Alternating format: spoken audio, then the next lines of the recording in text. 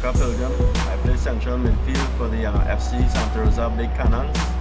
Um, I've been a member of the club since I was about 12 years old.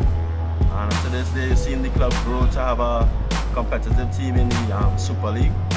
Uh, I was a member of the team in the last season and uh, we finished in the top seven. We finished seventh place. That was our best finish last season. And I think um, coming into the new season, we have a really strong team. Um, players have been working hard off the field in the gym.